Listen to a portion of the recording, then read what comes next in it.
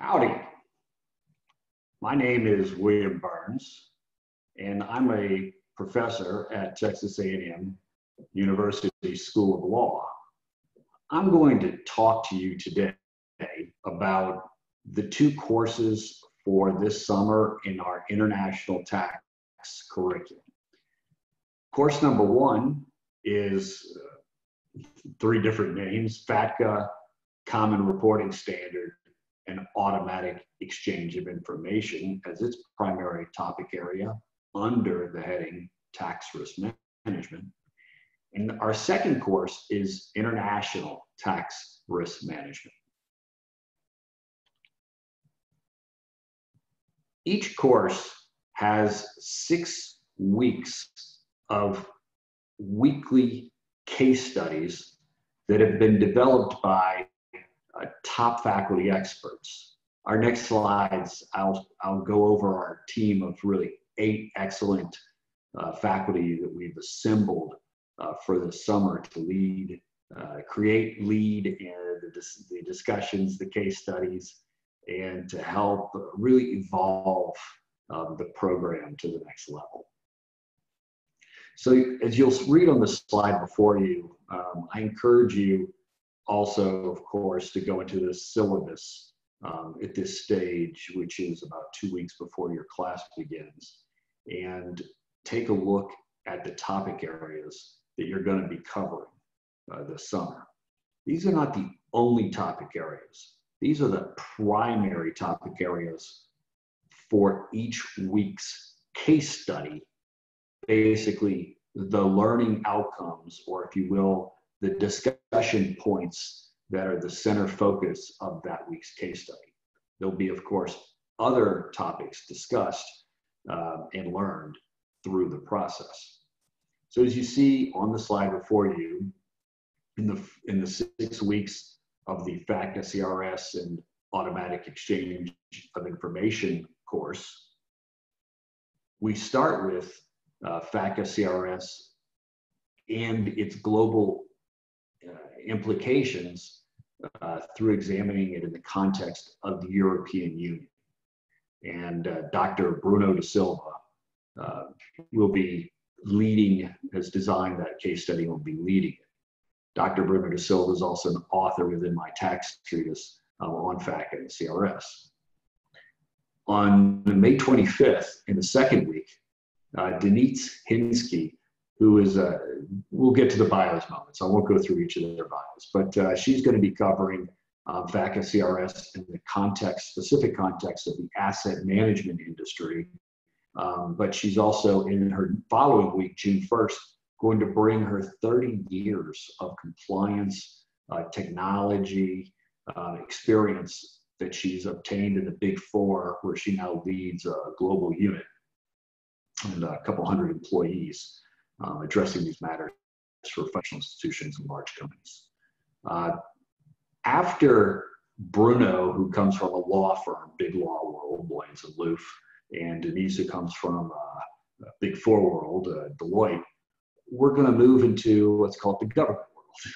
So Melissa Muhammad, uh, who's uh, taught in this program um, years past, uh, is works for the Internal Revenue Service, LBI, and she's going to be approaching this uh, topic area of FATCA and CRS from a documentation uh, in the United States, we might call it like W8 system or 1042 system. But regardless, she'll be looking at documentation uh, from many different countries. She has lived overseas in different countries such as Japan, uh, France. Uh, she's learned the local languages. She's actually worked in their revenue departments.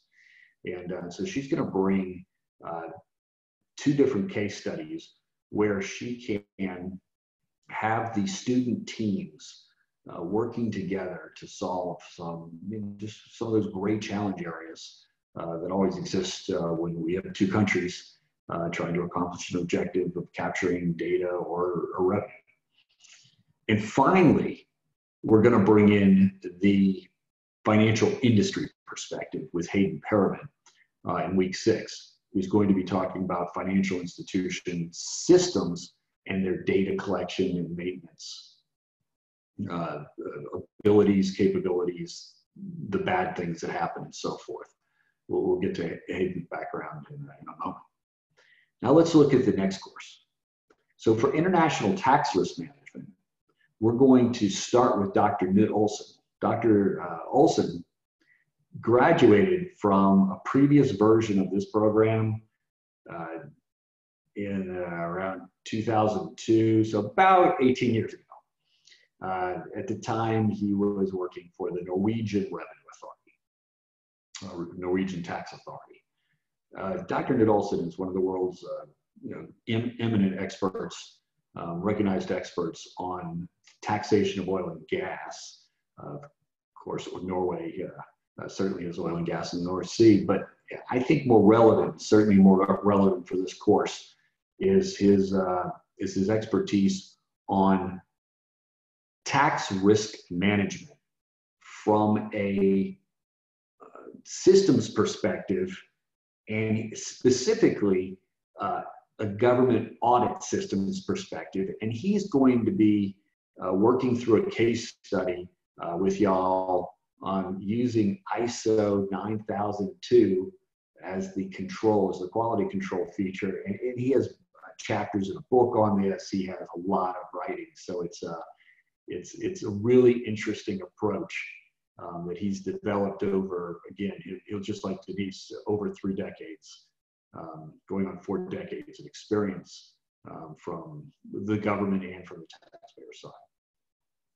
We're going to come back with Bruno, and Bruno's going to bring us into BEPS. Um, as you'll see from Bruno's bio, uh, although he works with Loyens and Loeff, the large law firm, he also happens to be the International Tax Counsel uh, for the Special Administrative Region, in Macau, which is of uh, which is a um, of course part of the uh, PRC, um, People's Republic of China. Um, and in that context, uh, Bruno has a lot of dealings with the OECD, United Nations, uh, Asian and other intergovernmental organizations, and, and uh, part of that has been certainly on the BEPS project. So uh, for that week, we'll, we'll do a case study specific on BEPS, and we'll cover different aspects of BEPS. We won't cover any transfer pricing aspects of BEPS because we've, of course, done that uh, in spring semester in the transfer pricing course. On June 1st, we're going to move in with David Deputy. David Deputy uh, is going to bring in country by country reporting and analytic systems. Uh, David runs uh, uh, was head of tax data at Vertex, a billion dollar um, tax technology company uh, that was been in business a long time with transaction taxes, then VAT. Um, and David's really uh, pushed the envelope on understanding systems and technology on a, on a very large scale uh, because he comes from a transaction tax background. That's just a fancy way of saying in the United States, at least sales tax. Um, but you know, because he, you know, if you're looking at like a Walmart with price points in several thousand stores across the United States with uh, tens of millions of transactions uh, with different codings, you know, there's over 1,000 tax municipalities, uh, sales tax municipalities in the United States. There's the 50 states, but actually each municipality, each uh, county, and so forth has their own uh, sales tax or excise tax system, use tax system. And uh, so Vertex in particular, you know, is one of those companies um, that is, uh, you know, a software provider, if you will, a technology provider um, addressing big data and uh, in the context of tax risk management. So David's going to be uh, presenting us a case study um, that he's developed on that. Uh, we'll be back with Bruno, who's going to be talking about limitation of benefits and, uh, and other aspects of tax treaties like principal purpose test, the MLI itself, um, created through the BEPS project that has the ability to alter treaties with uh, in the future, but with retroactive effect. Now, you know, is that going to be accurate of all countries or not? That, that's so that week's uh, case study um, won't specifically be on the MLI, but that week's, uh, but during that week we will discuss um, MLI and of course CBCR, um, which we've discussed the week before. We're going to bring that into the context of the uh, of, of that week. So um, we'll move on with Dr. Paula deWitte of our School of Engineering. Uh, she is not a tax person. Paula is bringing to the table uh, her mathematics background, her PhD in systems and, and computer science, um, her big data and cybersecurity background, um, her law degree. She's bringing this multidisciplinary perspective uh, that she's again 30 years in industry um, and approaching tax solely from the perspective of a data management issue and a risk of that data. And I don't mean like lost data in cybersecurity and so forth. I, I mean, uh, uh, you know, data from finance, financials to uh, to the tax accounting, from um, being able to develop rules within a system uh, that will quantify risk so that that risk can be communicated from, by example, a, director of tax to a CFO. Uh, so Paul is going to be um, looking at the future of analytics and technology in the context of that. Now, this will not be the only time we talk about that. This, for this course, you'll see, in, when, for those of you who continue with fall, you'll see we have uh, three weeks uh, further on tax technology and risk management uh, being brought to us. Okay, we're going to end our international tax risk management uh, one course because there, there are two. There's one in fall I mentioned. We're going to end that course with Melissa Muhammad and uh, bringing it home with uh, with financial uh, uh, like debt equity, interest payments, EBITDA, thin capitalization. Um, and she's going to bring that home so that we can match it with uh, Hayden Perriman, who will be who's also a banker. Um, so let me go to the bios, um, but you'll you'll see it's it's a it's a perfect match to bring those two in together. Um, so Hayden will be leading a case study with financial institution systems in his in the back of course, and then separately Melissa and her um, for her week in the International Tax Risk Management course. For those of you doing both courses, it'll be a very nice complement. The capstone for both courses is the students will come together and we'll do a week on tax technology and the future of tax departments. So uh, Deborah uh, Correa Tolutu, who's, uh, who's been lecturing with us already in spring, uh, will come back and she'll have invited guests and we'll go through heads of tax departments. And of course, she's with a large technology company herself and has been for her last two positions, uh, where she's led transfer pricing or led tax uh, provisioning uh, at large technology companies. Uh, she's going to um, really expand on what we left off in the capstone week of, of uh, spring and and then she's going to do it again for um, for the fall, fall, and so you're going to see kind of a uh, it's, it's all going to come together as you're working through the program.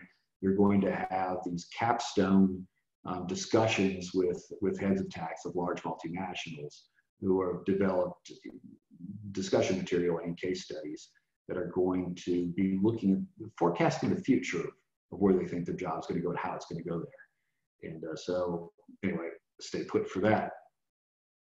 So let's turn to what makes this actually all work our excellent faculty and staff. So you're going to have, as I say, Denise uh, in, in FATCA, and she's Deloitte managing director, um, for, not just for FATCA, but for reporting in general. And it's not just in the United States, but it's a global uh, position. And she brings us 30 years of experience. So she's, you know, been representing uh, a lot of banks in their compliance initiatives since the enactment of FATCA back in you know 2010, 2012, when the regulations finally got uh, uh, really finalized. So, so uh, Denise is uh, is going to be bringing a real practical, real you know, advisor perspective uh, to FATCA and CRS for us, and all the conflicts that she's experienced um, globally trying to implement either FATCA or CRS or other uh, automatic exchange of information uh, system uh, within financial institutions or large companies, treasury management centers, and so forth. And, and so anyway, it'll be very interesting uh, two weeks with, uh, with Denise. Um, well, most of y'all know Bruno from our, from our fall and uh, spring courses. So Bruno is uh, um, coming back because, as you see, he represents, uh, he's the legal advisor of the Financial Services Bureau, which is the tax authority uh, for Macau. And so he's been working uh, again with systems and data and risk management, uh, specifically looking at the potential for analytics of that information and how uh, you know the countries are geopolitically um, discussing that with each other. Which brings me to Melissa Mohammed, because Melissa Mohammed also worked at the OECD for a couple years on behalf of the IRS, uh, where she was specifically in, involved in both FATCA implementation, CRS, but in the geopolitics of tax authorities trying to work out system issues that they know they're going to have, but they just you know can't come to common agreement quite yet on.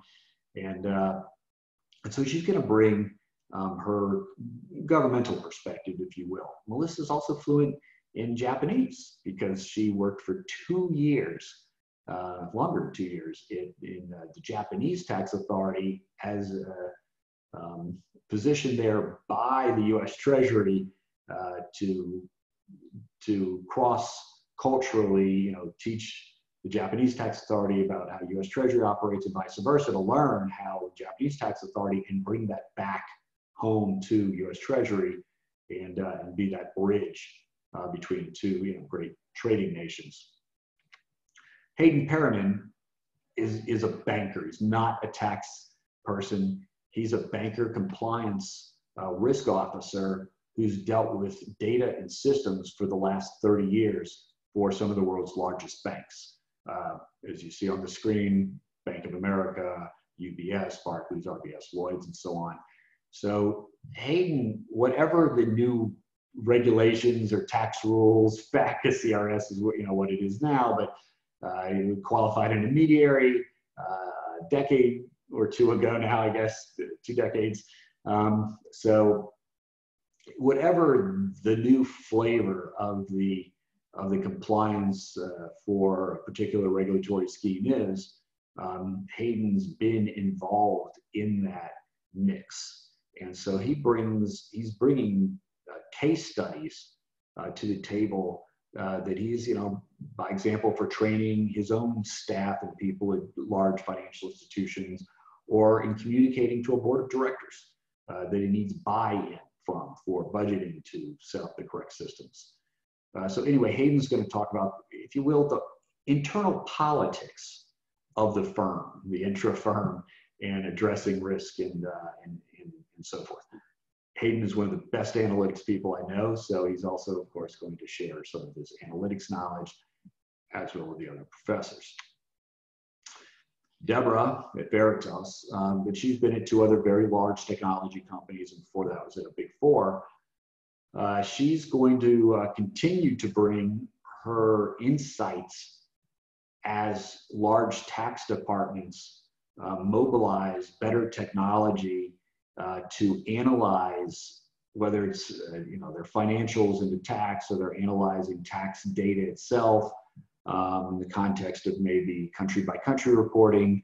Um, so she's going to continue to bring that conversation to us in summer and uh, and she's also you know, really, as you've seen before, an excellent moderator of, uh, of, of, of, of, other speakers who come on. And uh, because she is herself a tax director, she can uh, talk with them, you know, on equal tax director to tax director level.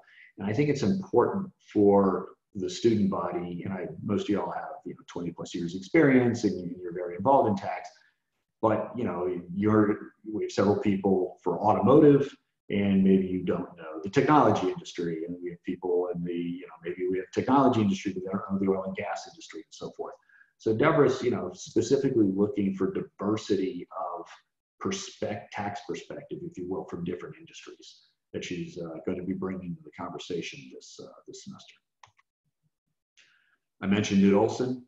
um, his transfer pricing risk mitigation and iso uh, really really interesting approach that he's uh, he's been uh, pounding for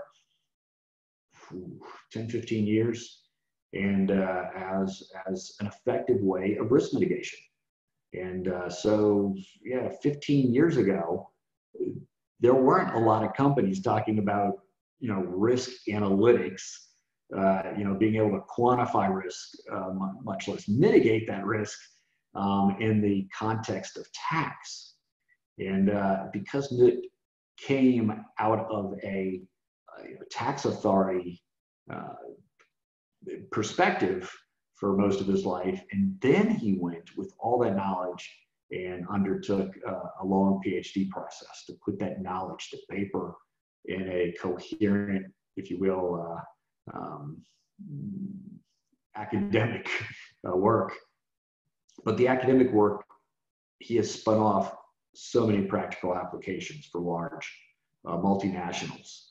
And uh, again, as, as you can see in their risk in their risk mitigation, he's come up with again, I think, some really interesting uh, mitigation ways like using ISO and, so forth.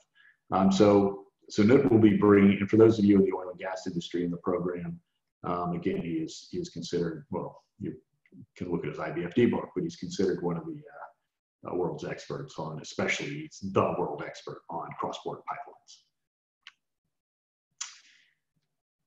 We come with uh, my colleague here at Texas A&M, Paula deWitte. Uh, Paula is a uh, amazing uh, academic. Uh, she come, comes from a mathematics background, a computer engineering background. she's a lawyer. She actually also has a master's of education. she is she's been director of our cybersecurity institute. She serves at the Maritime Institute. She's at the College of Engineering. She's with me at the law school. Um, she is she's a bundle of energy, and uh, and she brings more than 20 years of actual you know professional experience in the risk industry. And again, she comes from a true mathematics uh, background of being able to approach risk you know, from a numbers game, from a quantification game, from an evidence-based game.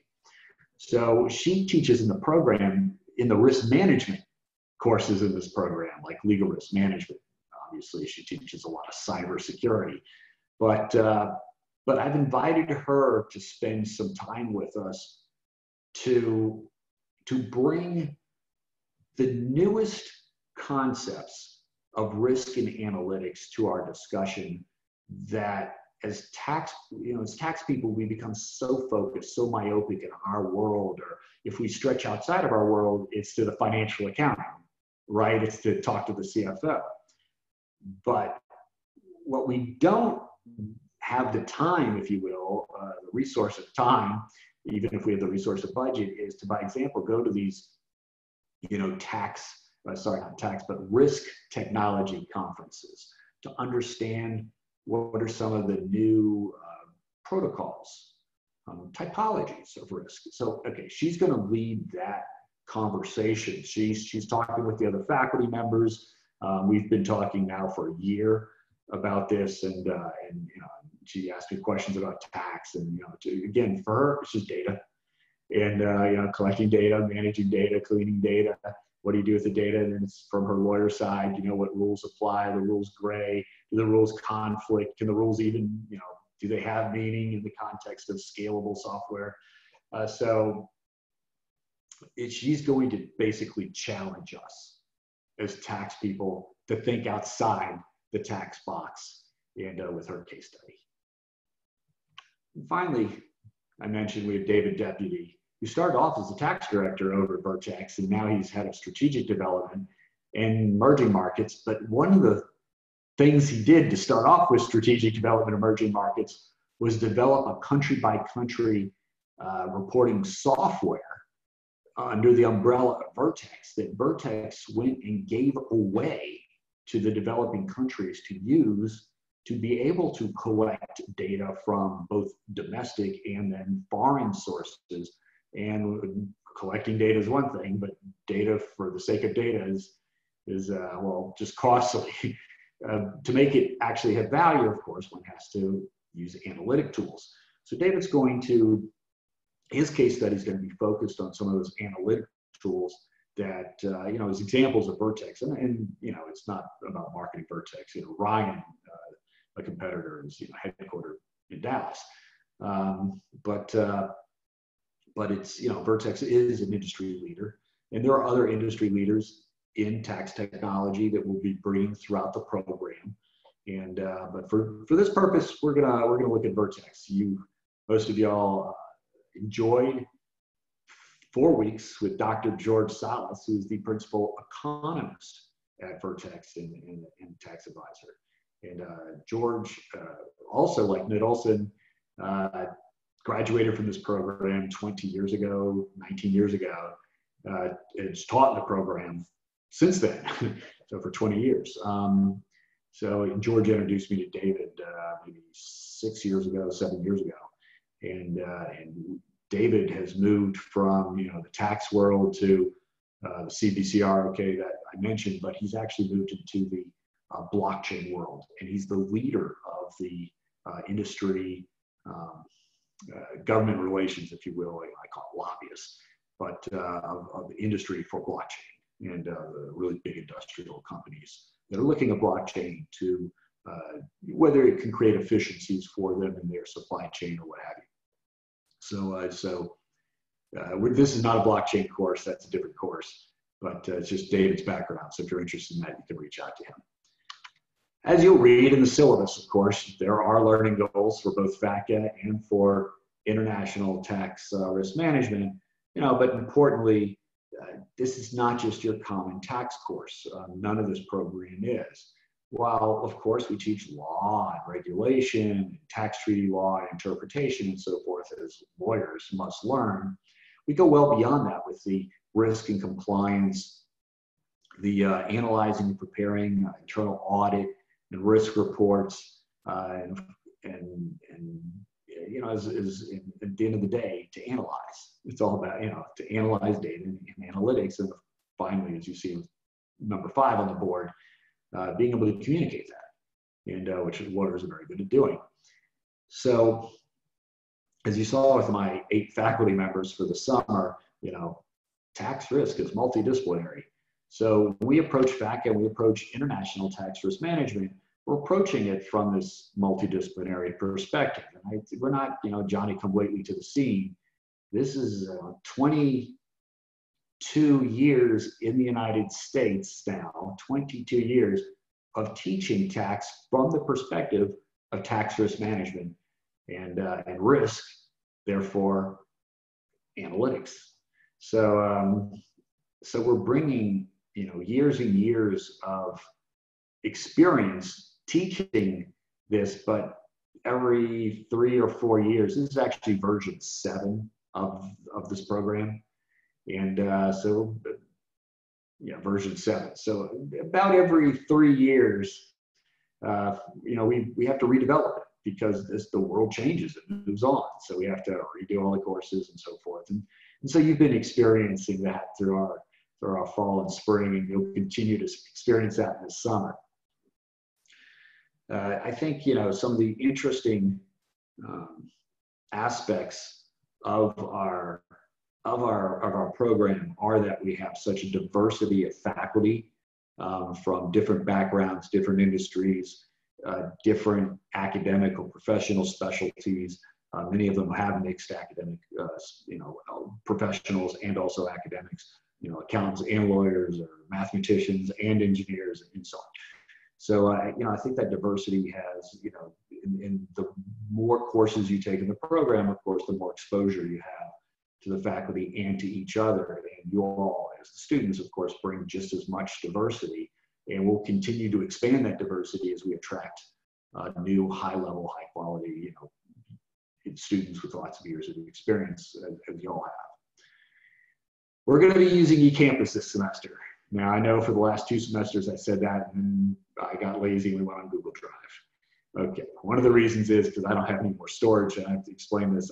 I, I can't upload videos to eCampus anymore. My storage is long ago on blown out um, because uh, I have two or 300 eCampus courses under my name since I, of course, founded the online programs.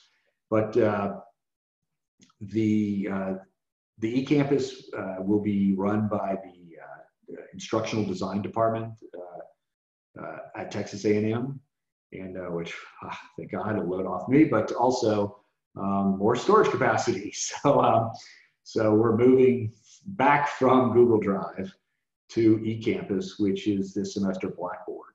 Uh, from fall, Texas A&M will be implementing Canvas as a learning management system, as well as like most other state universities in Texas.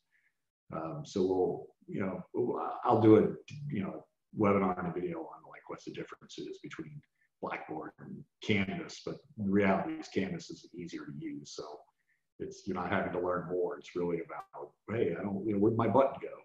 But uh, but Canvas is more intuitive, um, certainly, just less bells and whistles. Um, but reality is most faculty aren't technology uh, media uh, focused, and therefore they don't use the bells and whistles that are there. The course materials will, at least for the FATCA, uh, course, at CRS course, be my treatise, as you've seen in all the other courses, it's one of my treatises. For the International Tax Risk Management 1 course, I'm we're, we're still developing the materials. Yes, I can pull from the treatises and so forth, and you have access to all these treatises. Nothing's, you know, it's not going to cost you any money this summer. Um, you, everyone has a Lexis password. Um, so obviously, as you can see on the screen, this is a Lexis uh, one of my Lexis books. But regardless, the we're in international tax risk management because the field is developing so fast and BEPS is so new and so forth. Uh, we're also going to be bringing in, um, you know, articles and you know studies and it's you know it's risk. So we're going to be bringing in non-tax but risk-related from our other courses, and uh, of course, all new, every case study will be brand new. So um, so I uh, you know at least for the FATCA course, I can tell you all the course materials are in there and built.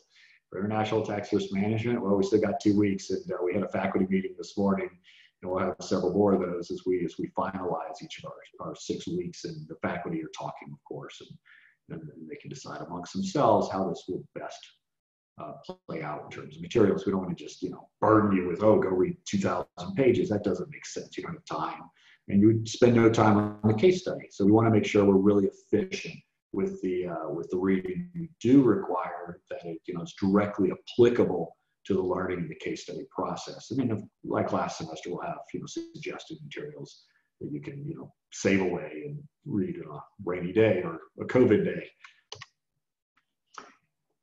The first thing I want everyone to do when you get into campus, though, is, uh, is, is go to the social biography forum. So some of you posted social biographies uh, in fall and spring, some not. But that's my fault because we were using the Google campus and it, it doesn't really lend itself to um, to a discussion forum. But but Blackboard and, and Canvas in the fall does.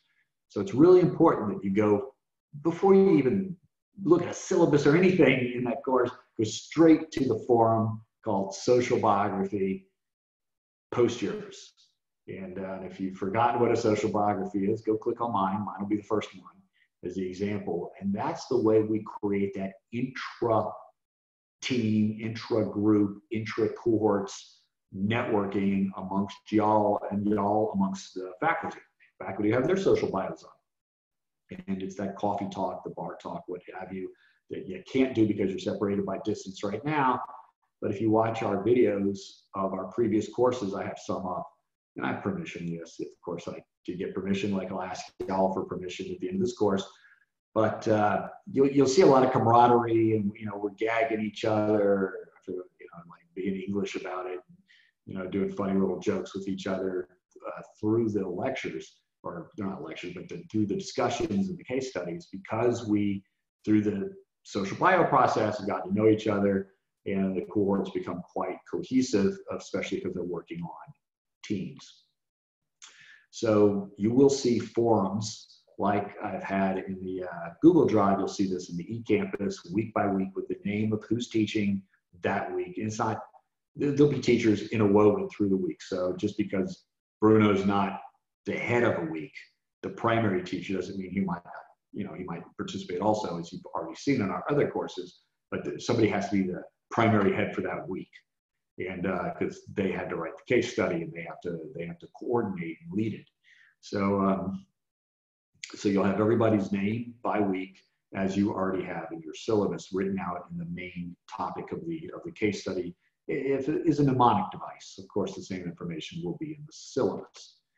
We are going to continue to use our flipped classroom approach that I've used for 20 years, um, which means we're going to, you know, you, you are already doing it. We have lots, you know, you'll have recorded lectures.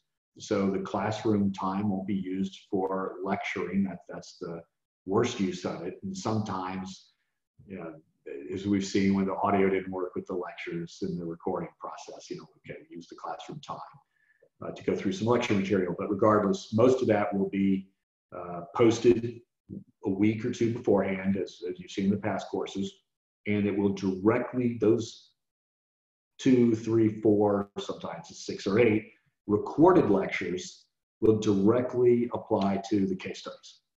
And, uh, and thus, each week will continue, as you've seen in the past courses, to be coherent um, onto its topic areas.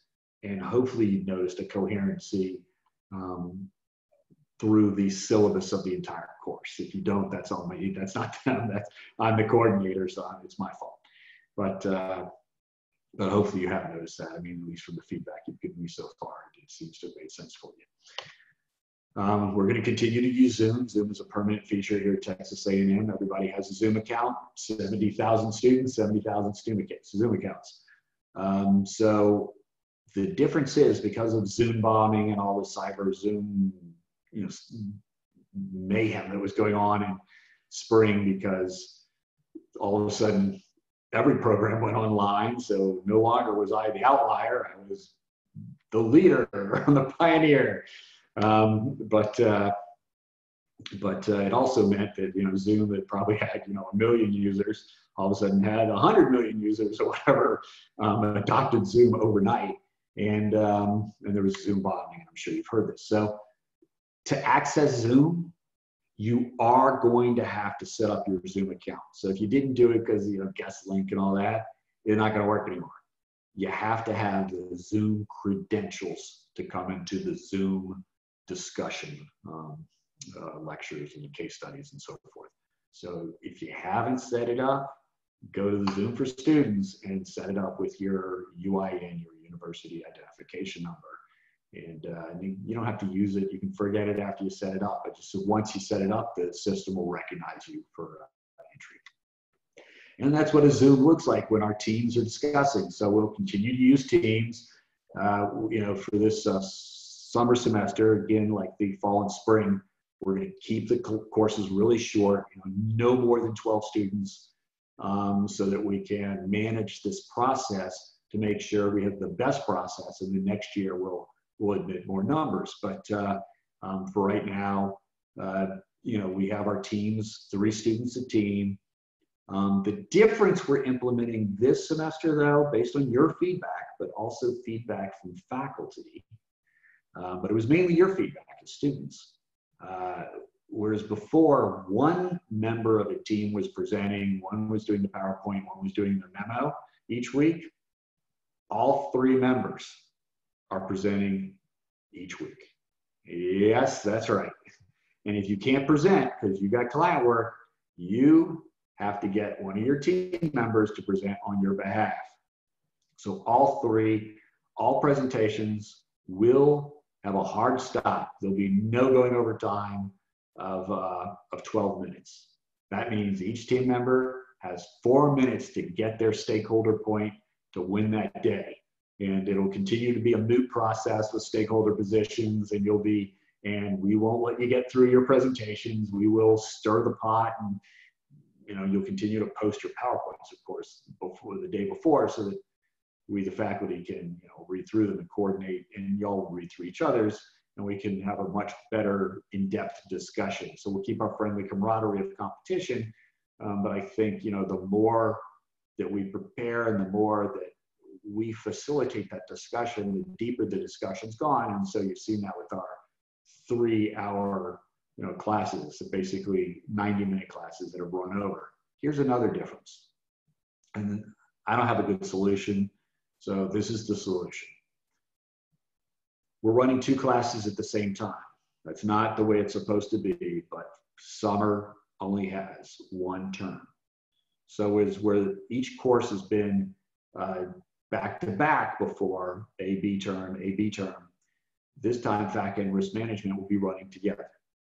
Consequentially, where we're going to have three morning live sessions instead of two. But that's better than four morning live sessions. The way we're going to do it is tentative.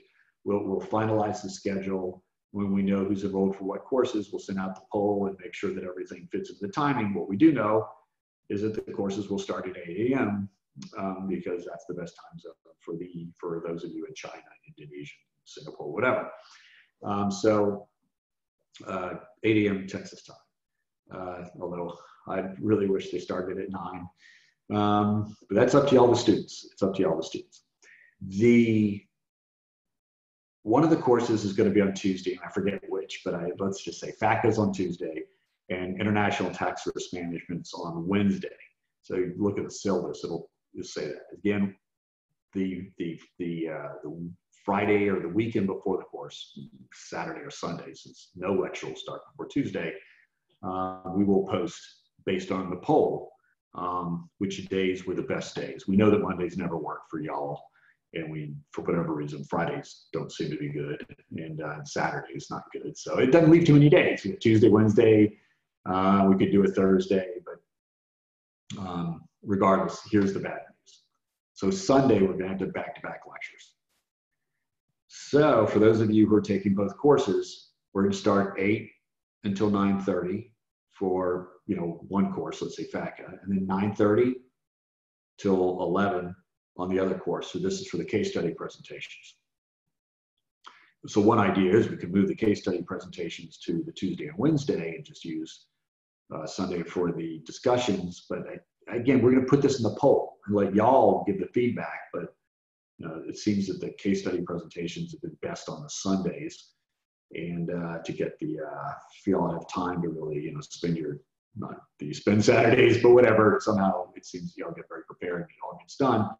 And uh, so we had these great discussions. Um, but again, Sundays we'll have a hard stop, hard, hard, hard stop, 12 minutes, and we'll have a hard stop at 90 minutes because we got to go the other course. So um, and that'll be a different Zoom link. So uh, because of the recording and all that as well. So uh, it will be a hard stop. So I know that sometimes our courses run two hours, two and a half hours, and we're all enjoying the conversation. That's why we're there. But uh, but it must be a hard stop on Sundays. And uh, otherwise, we'd have to do four days, and I yeah, I just don't think y'all. I'm sure y'all don't have time. So um, you know, us academics, we just have to wake up and write, but y'all actually have client work. So um, or, or work for your corporations. So um, okay. Anyway, we'll send out a poll. If y'all have a better suggestion than that, uh, we'll follow it, but uh, but we can't do later in the day again because you know we do have Indonesia, Shanghai, and so forth. We have to be respectful that when it's 8 a.m. our time in Shanghai, they don't have daylight savings time. I think it's 9 p.m. So I think it's 8 a.m. for Suzanne in Indonesia. Okay, so uh, again, you get the poll the IT help desk has been so brilliant this semester. It's always been good. I've been using it for years now and 365 days, you know, seven days a week, um, you know, 24 hours a day. They're there at three in the morning. I want you, you know, to make sure that you feel comfortable, especially if you're a new student, you're watching this, uh, you know, give them a call. They really will sort you out and, uh, or you know send them an email or chat or whatever you, you do. They really you know it's real aggies. It's not outsourced. These are real aggies managing 70,000 students and 8,000 full-time faculty and so forth. We're the largest public university in the united states and they get it done it's just amazing especially you know when i say get it done amazing it's covid-19 and 70,000 students were displaced and teachers and so forth and somehow technology managed the process uh, you know, hats off. This is this is that Aggie spirit and drive. Uh, amazing. Anyway, they're there for you, uh, 24 seven.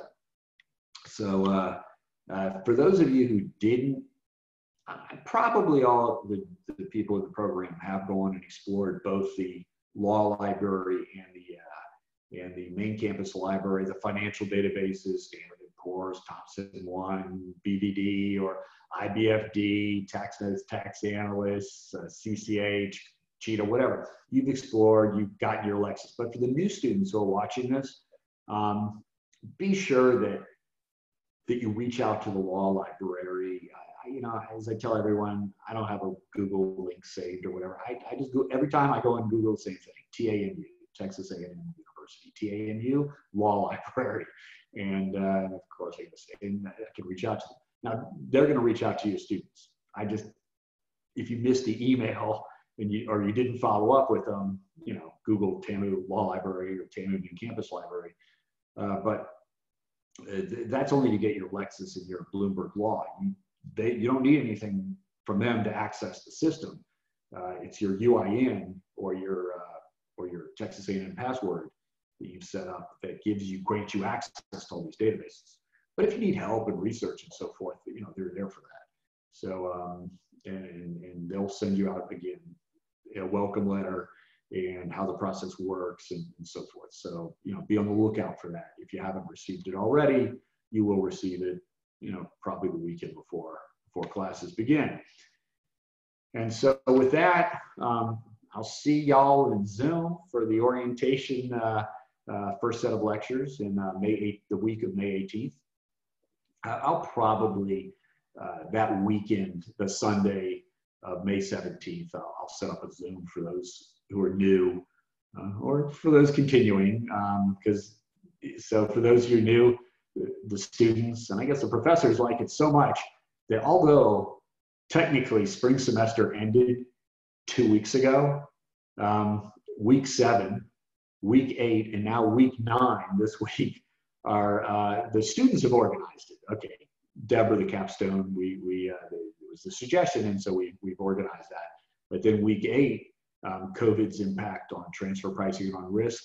Um, Pramod organized that, and, and, and uh, most of the students showed up. The faculty showed up. It's fascinating, fascinating.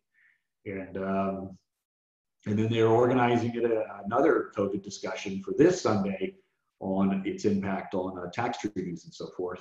Which is, I mean, just it, our discussions are so good and deep it's like you can't go to a webinar one of these like you know continuing education webinars and get anything like it because this is a discussion as opposed to you know it's not somebody just throwing information at you and you get to chat in one question you're actively part of the of the process so um so i'll i i think for that sunday of may 17th i'll organize a q&a or a hello introduction a social bio and so the new people can meet the people in the program who are continuing for the summer and we'll do introductions and all that. And uh, so that way we can really use our you know, first course meetings uh, effectively to discuss, uh, well, FATCA case residency and the case of international tax risk management NITS um, approach. So uh, with that, if you have any questions, uh, be sure to reach out to me. Uh, you have my details, contact details. You have my LinkedIn account, of course. So um, and join my LinkedIn group for international tax professionals but uh, reach out to David Dye if you need something, you know, at a high level, because he's dean of the graduate programs, and, and then David's staff, or if you need something from the registrar, the registrar staff. Even with COVID, even with the shutdown, um, Aggies are working hard. Everybody's uh, you know telephoning in, if you will, um, using Zoom with each other. In fact, I, I, I, I am sure that I do more meetings now on Zoom with colleagues at the school than I do when I'm at the school. Now, maybe that's because we see each other in the hallway, so we don't need to. But regardless, it seems that uh, two, three times a day we're on Zoom with somebody. So, um, so I encourage you, you know, to reach out to us and, you know get issues resolved before uh, before the semester starts. So, thank you very kindly for your time. Look forward to seeing you uh, probably May 17th. I'll send out a mass email. Thank you, guys. Cheers.